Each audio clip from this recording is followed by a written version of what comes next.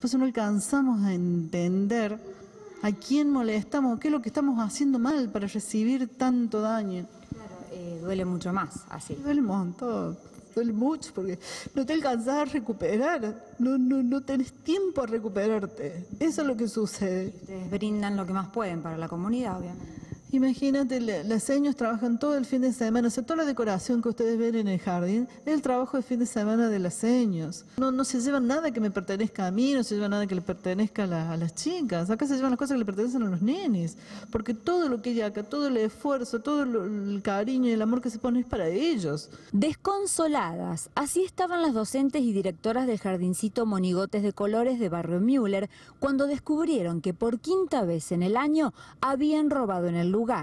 A pesar de que reciben ayuda del gobierno provincial, todo se hace con mucho esfuerzo y dedicación. Los seños eh, vinieron a recibir a los nenes y abrieron la puerta del, del jardín y se encontraron con que no estaban los cubiertos, no estaba el detergente, no estaban las golosinas, de que nuevamente habíamos tenido otro robo más. ¿Cuántos han sido eh, en total y cuántos en el último tiempo?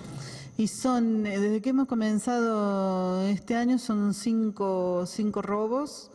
Este es el tercero que, que tenemos en, en dos semanas. Ya no tienen que robarle. Y yo no sé qué nos van a, qué nos van a llevar ya. Esta mañana hasta el detergente se han llevado. Ya en los ro- nosotros nos robas una tiza y para nosotros es oro. Todo un poco a pulmón. Y sí, 75 niños de entre 1 y 4 años asisten al jardincito y 60 de entre 6 y 12 participan de los talleres. Todos se alimentan allí. Los más pequeños no entendían por qué este mediodía se iban sin almorzar. Nosotros nos dedicamos a los chicos realmente.